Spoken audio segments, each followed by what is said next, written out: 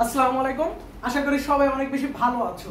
তো তোমাদের সাথে আমি ছোট একটা বিষয় নিয়ে আজকে আলোচনা করব, সেটা হচ্ছে আইসিটি তুমি একটা ওয়েব পেজ যদি তৈরি করতে চাও বা একটা ওয়েবসাইট তৈরি করতে চাও, তোমার সব থেকে ইম্পর্টেন্ট যে জায়গাটা থাকে, সেটার একটা ইউনিক নাম দেওয়া।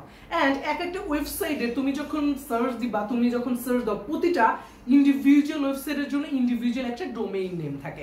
আসলে সেই ডোমেইন নেমটা কি এবং আইপি অ্যাড্রেসটা কি, সেটা নিয়ে আমি আজকে আলোচনা করব ছোট দু মিনিটের একটা ভিডিওতে। ওকে লেট স্টার্ট ওকে দেখো সো ডোমেইন নেমটা আসলে কি? আমাদের এটা অনেক ভালোভাবে জানতে হবে। কারণ এই ডোমেইন নেম থেকে এমন কোনো জায়গা নাই যেখানে আই থিঙ্ক আমি বুঝাইতেছি এইচএসসি বলো বা অ্যাডমিশন কারণ তোমরা জানো, গুচ্ছতে আইসিটি ইনক্লুড আছে।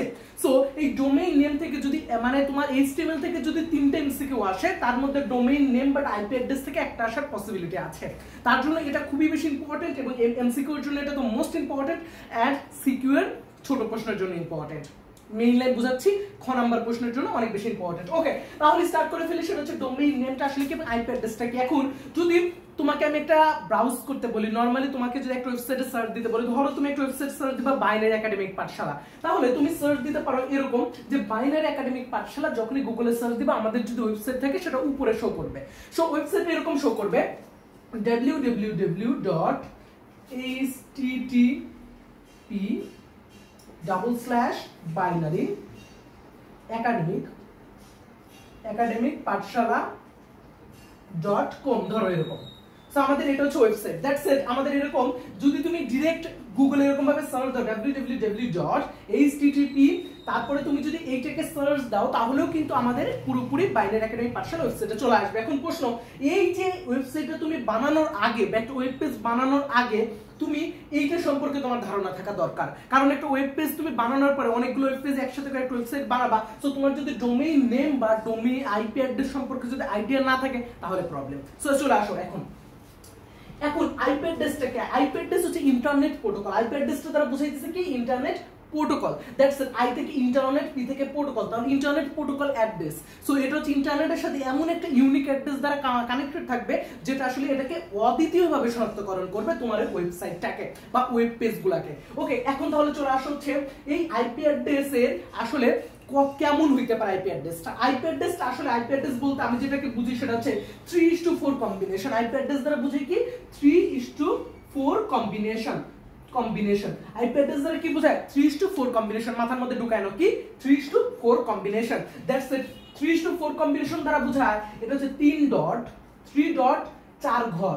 তিন ডট চার ঘর। তিন ডট চার ঘর দ্বারা আসলে কি বোঝায়? তিন ডট চার ঘর দ্বারা বুঝাইতেছে প্রতিটা আইপি অ্যাড্রেস হয় কত? তিন ডট চার ঘর। তার মানে তুমি তিনটা ডট দিয়ে দাও। ডট দিয়ে দাও, এর মাঝে চারটা ঘর দিয়ে দাও। কয়টা? দুটা, এই সাইডে একটা, এই সাইডে একটা, চারটা।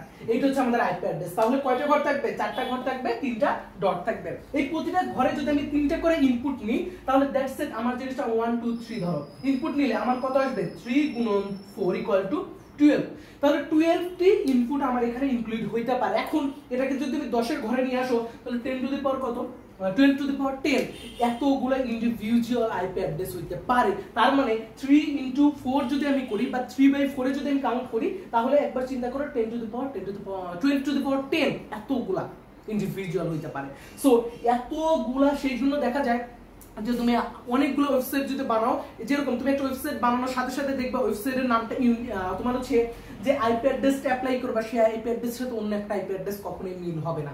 কখনোই সেম হইতে পারে না। এটা আমাদের ডিএন এর মতো হিসাবটা। অথবা তুমি জিমেইল এর ক্ষেত্রে চিন্তা করতে পারো। জিমেইল কিন্তু সকল জিমেইল কিন্তু আলাদা। কোনো জিমেইলের সাথে কোনো জিমেইলের কিন্তু মিল নাই। সো এইটাই হচ্ছে আমাদের কি?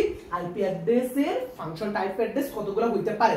এখন হচ্ছে আইপি অ্যাড্রেস নিয়ে তো আমরা একটু ছোটখাটো কথা বললামই। এখন চলে আসি আমি ডোমেইন নেম নিয়ে।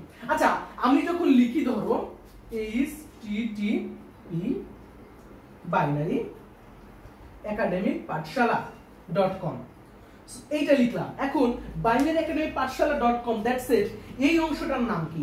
এই অংশটার নাম কি এবং এই অংশটার নাম কি? এইটুকের নাম হচ্ছে ডোমেইন এই পুরোটাই হচ্ছে কি? পুরোটার হচ্ছে কি? ডোমেইন নেম এই যে বাইনারি একাডেমিক পাঠশালা, এটার নাম হচ্ছে ডোমেইন নেম আর হচ্ছে এটার নাম কি? ডোমেইন টাইপ এটার নাম কি?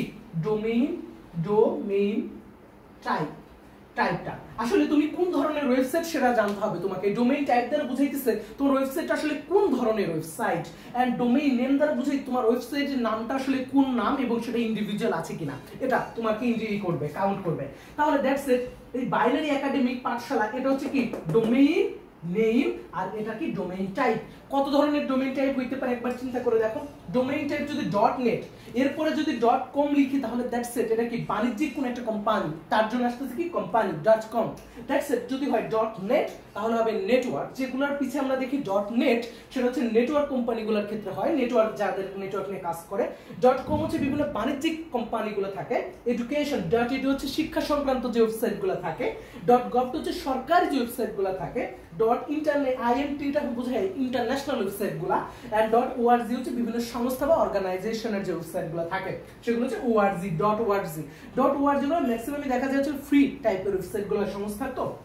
ওকে সো এখন হচ্ছে এখানে যেটা লিখলাম যে এইচ এইচটিটিপি এইটার ফুল মিনিংটা কি দেখো? এইচ তে বুঝাইতেছে আমার হচ্ছে হাইপার টেক্সট ট্রান্সফার প্রোটোকল এটা পরীক্ষায় অনেক আসে এইচটিটিপি এটার মানে ফুল মিনিংটা কি? Hyper text transfer protocol hyper text transfer protocol that's it so এই হচ্ছে আমাদের domain name and domain type so domain টাইপটা থাকবে ডটের পরে এন্ড হচ্ছে এর আগে যেটা থাকবে সেটা কি? ডোমেইন নেম সো এটা হচ্ছে ডোমেইন নেম ডোমেইন টাইপ আর হচ্ছে আইপি অ্যাড্রেসটা কতগুলি ইন্ডিভিজুয়াল হতে পারে এটা নিয়ে আমি দু মিনিটের একটা কথা বলে ফেললাম। ওকে এই হচ্ছে আমাদের ডোমেইন নেম এবং আইপি নিয়ে ছোট একটু আলোচনা। আই থিঙ্ক তোমাদের ভালো লাগলে নেক্সট ভিডিওর জন্য ওয়েট করো। নেক্সট ভিডিওতে আমি এরকম আরও একটা প্রবলেম নিয়ে আলোচনা করব, যেখানে তোমাদের এমসিকিউ আসতে পারে বা ভার্সিটির এক্সামগুলোর প্রশ্ন আসতে পারে, সেরকম একটা বিষয় নেই। এবং যে ট্যাগগুলো তোমাদের ঝামেলা সে ট্যাগগুলো নিয়ে আলোচনা করব। সো বাই বাই সবাই ভালো থাকো টেক কেয়ার